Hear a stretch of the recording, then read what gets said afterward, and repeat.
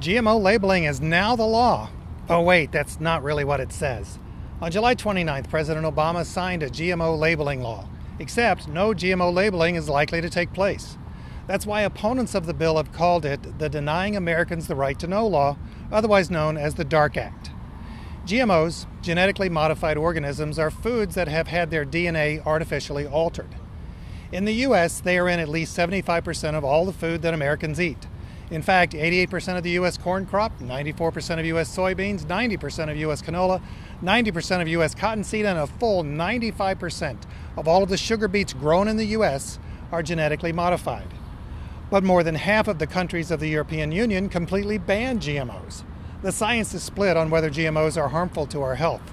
Studies in Europe found severe liver and kidney damage as well as hormonal disturbances in rats fed genetically modified maize in conjunction with low levels of Roundup, levels that were below those permitted in most drinking water.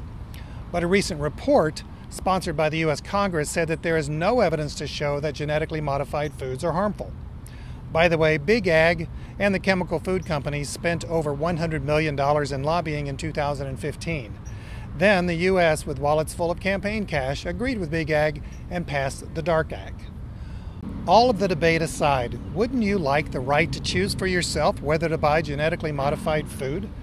After all, you want to have a say so in what you feed your family. Vermont's GMO labeling law went into effect on July 1, 2016. But the DARK Act prevents states from passing GMO labeling laws and nullifies what Vermont did. So let's say you're in a grocery store. You're careful about your health and your family's health. You're a responsible shopper. You pick up this can. The ingredients are listed. There's a protein, fat, and fiber analysis, calories, all the normal things you expect. Then you decide to compare the food labeled under the DARK Act. You see an 800 number or a QR code for you to get out your cell phone and scan. That's what the DARK Act allows. Companies can use not so simple technologies to make it difficult for you to determine what's in your food. In fact, some of the genetic modifying ingredients don't even have to be listed under the new federal law. By the way, this can with the, all the easy to read items is dog food.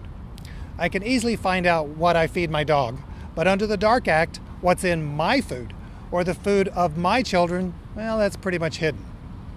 There's a quote from Hamlet that comes to mind Methinks thou dost protest too much.